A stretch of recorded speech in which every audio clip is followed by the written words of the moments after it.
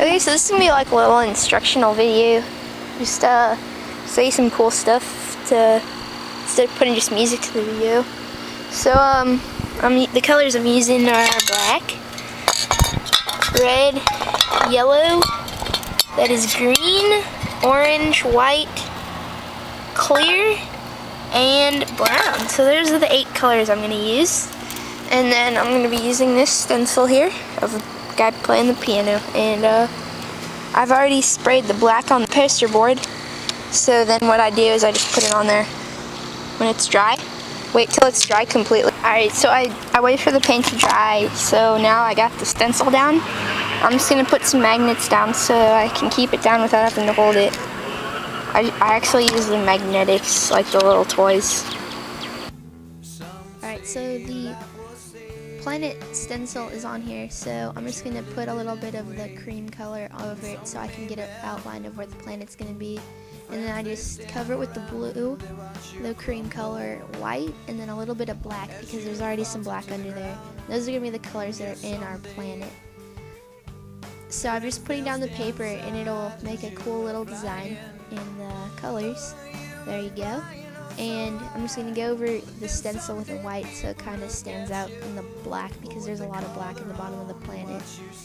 Right here I'm just spraying down some yellow, some orange, red, and brown so the colors when I scrape away at them in the road it'll have some color in it other than just white. Um, what you do pretty much is you then just cover it all in black or whatever color you want. See, the top's going to be black like the night sky and then the bottom's going to be green so I'm making some stars here. You just hold it at pretty much a 45 degree angle and barely spray on. So now we got this little, we gotta make the road. So you just take a cloth or whatever and you just scrape down at it and it'll give it a pretty cool looking texture.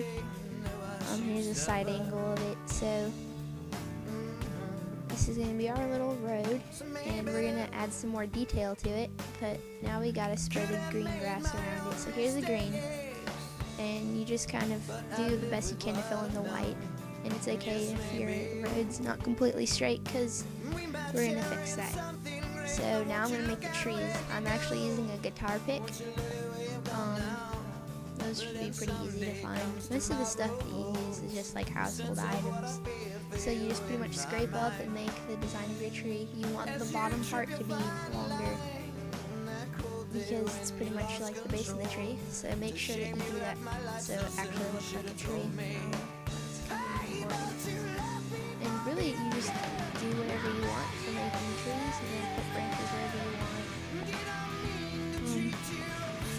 see that some of the paint's kind of starting to bubble, so I'm trying to scrape away at certain parts So here. So now I gotta do the other tree.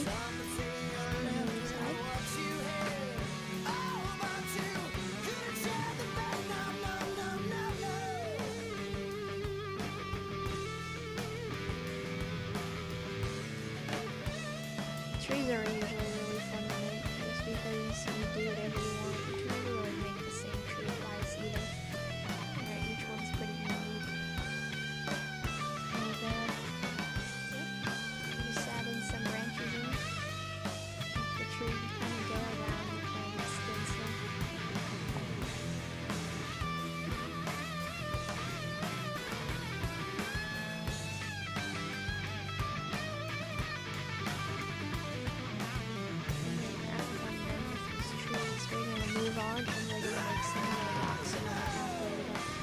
separate the green grass from the pathway.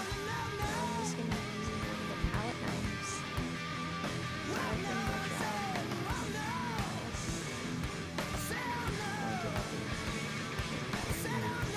But I'm just pretty much making a C shape over and over again. Just like little crust moons, I guess, and you kind of want to vary the blade up so it's not the same rock over and over again. Use uh, different. You want to use different amounts of pressure to do it. And right here, the paint's pretty dry, so I'm going to get the clear coat, which pretty much will make the paint wet again. I can't talk. And uh, I check to make sure that the paint was dry.